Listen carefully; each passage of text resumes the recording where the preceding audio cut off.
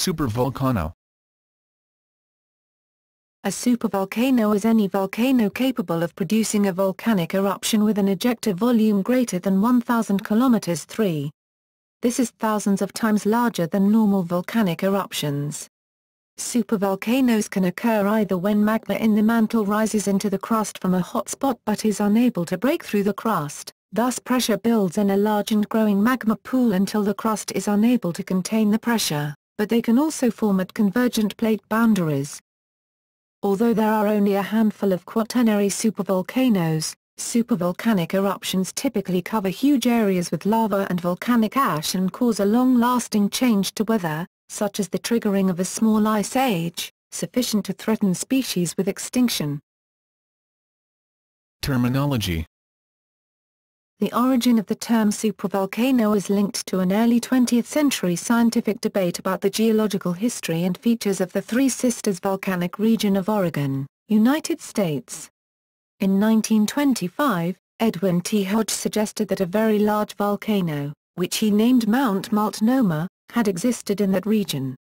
He believed that several peaks in the Three Sisters area are the remnants left after Mount Multnomah had been largely destroyed by violent volcanic explosions, similar to Mount Mazama.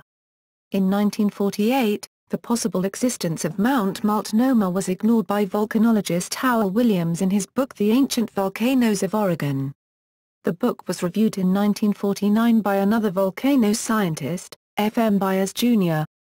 In the review, Byers refers to Mount Multnomah as a supervolcano.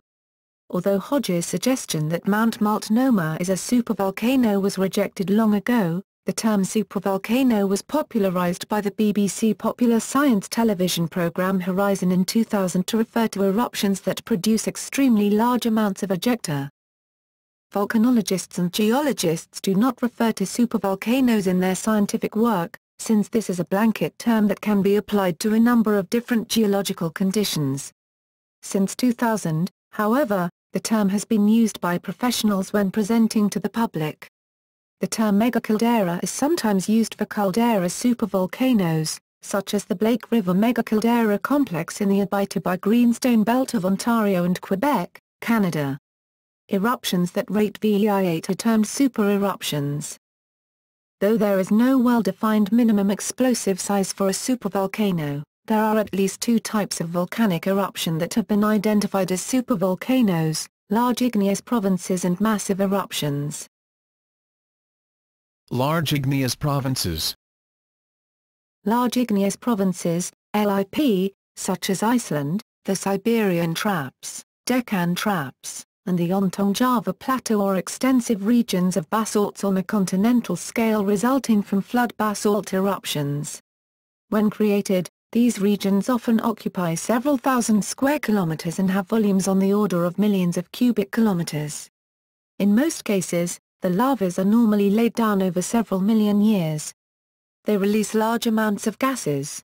The Reunion hotspot produced the Deccan traps about 66 million years ago coincident with the Cretaceous-Paleogene extinction event. The scientific consensus is that a meteor impact was the cause of the extinction event, but the volcanic activity may have caused environmental stresses on extant species up to the Cretaceous-Paleogene boundary. Additionally, the largest flood basalt event, the Siberian Traps, occurred around 250 million years ago and was coincident with the largest mass extinction in history, the Permian-Triassic extinction event, although it is also unknown whether it was completely responsible for the extinction event. Such outpourings are not explosive though fire fountains may occur. Many volcanologists consider that Iceland may be a LIP that is currently being formed. The last major outpouring occurred in 1783-84 from the Laki Fissure which is approximately 40 kilometers, 25 miles, long. An estimated 14 kilometers 3, 3.4 cubic miles, of basaltic lava was poured out during the eruption. The Ontong Java Plateau now has an area of about 2 million kilometers 2, 770,000 square miles, and the province was at least 50% larger before the Iki and Hikurangi plateaus broke away. Massive explosive eruptions volcanic eruptions are classified using the Volcanic Explosivity Index, or VEI. VEI, 8 eruptions are colossal events that throw out at least 1,000 kilometers 3, 240 cubic miles, dense rock equivalent, DRE, of ejecta. VEI, 7 events eject at least 100 cubic kilometers, 24 cubic miles, DRE. VEI, 7 or 8 eruptions are so powerful that they often form circular calderas rather than cones because the downward withdrawal of magma causes the overlying mass to collapse and fill the void magma chamber beneath. One of the classic calderas is at Glencoe in the Grampian Mountains of Scotland. First described by Clough al. 1909, its geology and volcanic succession have recently been reanalyzed in the light of new discoveries. There is an accompanying 125,000 solid geology map. By way of comparison, the 1980 Mount St. Helens eruption was a VEI-5 with 1.2 km 3 of ejecta. Both Mount Pinatubo in 1991 and Krakatoa in 1883 were VEI-6 with 10 and 25 km 3, 2.4 and 6.0 cubic miles, DRE, respectively. The death toll recorded by the Dutch authorities in 1883 was 36,417, although some sources put the estimate at more than 120,000 deaths. Known supereruptions VEI-7 VEI-7 volcanic events, less colossal but still supermassive, have occurred in the geological past. The only ones in historic times are Tambora, in 1815, Lake Taupo, Hatepe, around 180 CE, and possibly Baekdu Mountain, 969 CE plus minus 20 years and the Minoan eruption of Santorini.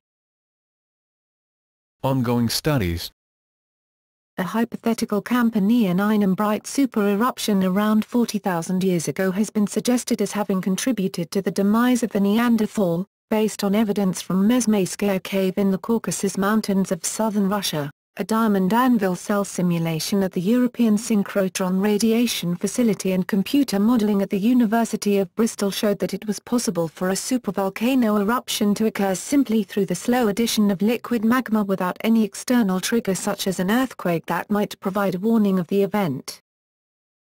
Media portrayal In 2004, Naked Science TV show aired Supervolcano on National Geographic Channel. In 2005, a two-part television docudrama called Supervolcano aired on BBC One, the Discovery Channel, and other television networks worldwide. Nova featured an episode Mystery of the Megavolcano in September 2006 examining such eruptions in the last 100,000 years. In 2006, the Sci-Fi Channel aired the documentary Countdown to Doomsday which featured a segment called Supervolcano. The same year, ABC News aired the documentary Last Days on Earth, which featured a segment called Supervolcano. Also in 2006, the Sci-Fi Channel series Stargate Atlantis episode entitled Inferno featured a supervolcano as the major plot device. Dr. Rodney McKay, one of the main characters, uses Yellowstone National Park to describe what a supervolcano is. In the episode Humanity of the television drama Young Justice, the team must relieve the pressure of the Yellowstone caldera supervolcano caused by red volcano before an eruption with the potential for mass extinction takes place. In 2009, the apocalypse-themed film 2012 featured the super eruption of the massive Yellowstone caldera, a result of the Earth's core heating up. This made most of the United States uninhabitable. In 2011, the sci-fi series Warehouse 13 featured an episode entitled Reset in which a supervolcano, specifically the Yellowstone caldera, plays an important role. In December 2011, author Harry Turtledove published Supervolcano, Eruption, the first of a planned four-novel series about events leading up to and following a fictional eruption of the Yellowstone caldera. The second book in the series, Supervolcano, All Fall Down, was published in December 2012. The third book Supervolcano, Things Fall Apart, was published in December 2013. The last volume Supervolcano, Maelstrom is scheduled for 2014, at the end of Terry Pratchett and Stephen Baxter's novel Long War the Yellowstone Caldera Erupts. The aftermath will be featured in the next volume, Long Mars.